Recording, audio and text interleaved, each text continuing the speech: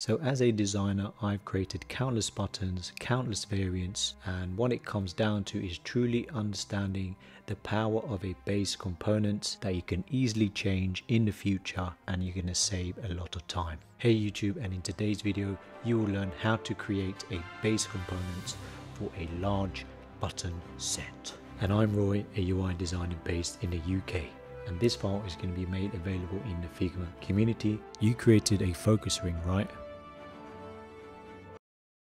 Create a base button with what you need. And you just have to really think about and write down what you do need. And what I've put it down to is a bunch of lists. So you have the type you have the size you have the state. You can have a button with a leading icon or a trailing icon. So once you have this mindset of listing out the different variants it's going to make it a lot easier to understand further down the line Let's create a naming convention based on your list defined on the previous step. So for example, here we're just taking this list and we're having a naming convention. So for example, primary default default false false, which represents the type is primary, the size is default, the state is default, leading icon is false, and a trailing icon is false. And here is a variant example.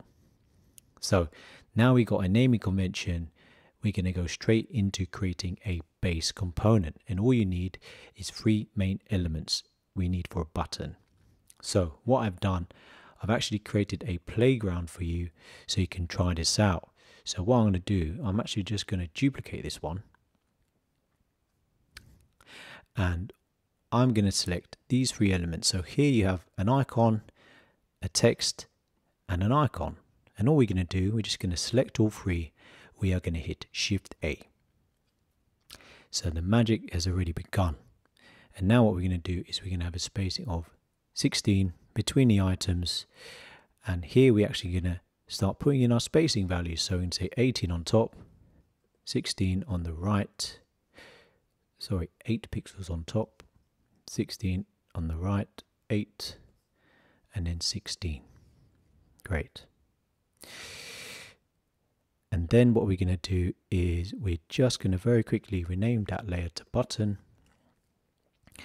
And what we're going to do is very quickly give this a fill. So what we're going to do here, you can choose whatever color you like. I'm going to use the primary colors that we set. So I'm going to go for around 500.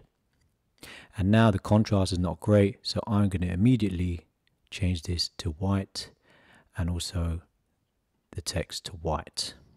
Okay, so let's zoom in a bit. So here we have a very simple button.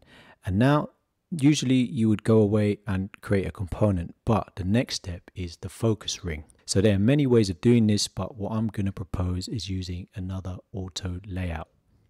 All you have to then do is do Shift A, and all you do from there is let's have a gap of or padding around of 10, uh, 2, get rid of this spacing, and all you're going to then do is, hey, I want a stroke, which is two pixels on the outside, and that is going to be the primary color of 500. Great. So now what we've done is we have our base uh, structure, we have the um, the focus ring. So what we're going to do is name this to dot base button. And now we can give it a border radius if we want. So we can say 8 pixels on the outside and then on the, on the button layer we can say 6 pixels.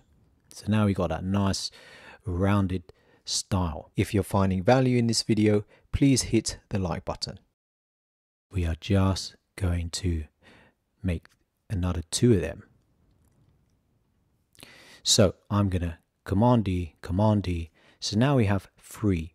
And just to note, we're putting a dot in there because if you do publish these components, then the viewers or the users are not going to see that uh, that component when they search for it. So I'm going to Command A to select all, hit Shift A. I'm going to give a spacing of let's say 40. Let's put this in the middle and hit enter. So now we've got three base buttons. And why do we have three base buttons? Is because we can have three different sizes. So we can just rename this to default. and then we can have large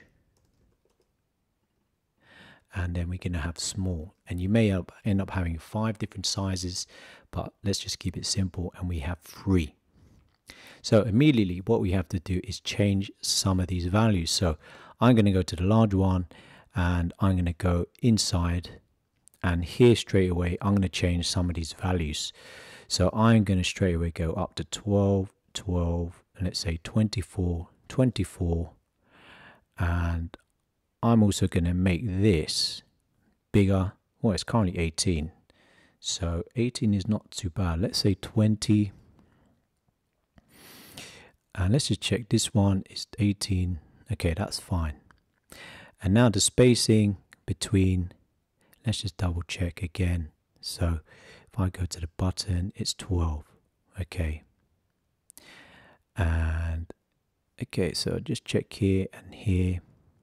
So we could say the spacing between is 24. So we've got a nice big spacing and this is down to preference how you want to do it. And then the last one is the small one. So again, hit enter to go in. And here we're going to make this smaller. So you're going to say 12 on the side, on the right, 12 on the left. And we're also going to go in here and we're going to make this smaller. Let's say 16 with a line height at 24. Great. So if I go in, we have a touch area 44, we have a touch area 44. So it's exactly the same. So in that case, we're probably going to have to make this smaller. So let's say a line height of 20. However, what you can do is, this is what you'll notice, is we can go into button. We want these to vertically align in the middle. So it could be from the left. And we can go here, do the same thing again go to button and we align it from the left. So again, we go to button, align it from the left. Okay, great.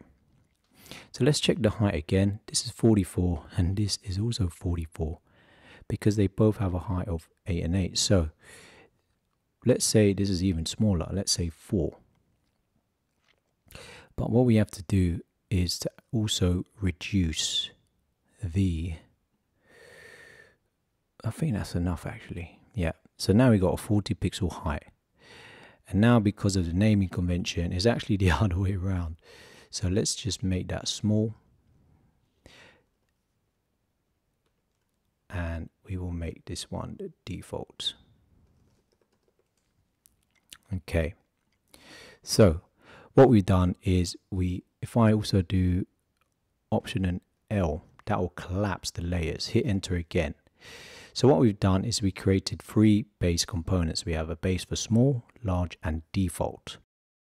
So all you do for there is you hit enter and you go to this area here and you want to create multiple components, not set components, multiple.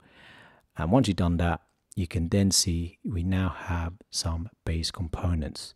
So I hope you won't miss the next video because going to use these three base components to power a large button set. And also the beauty of a base component is very easy to change in the future if you need to change the border radius or the text sizes for the three different sizes. If you found this video useful, please leave a like, leave a comment, subscribe, hit the bell, and I'll see you in the next video.